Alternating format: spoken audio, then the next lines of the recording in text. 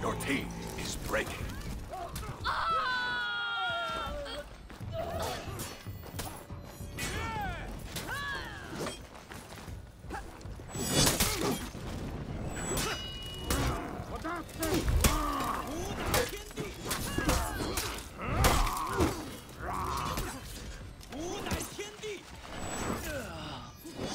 You captured Zone C.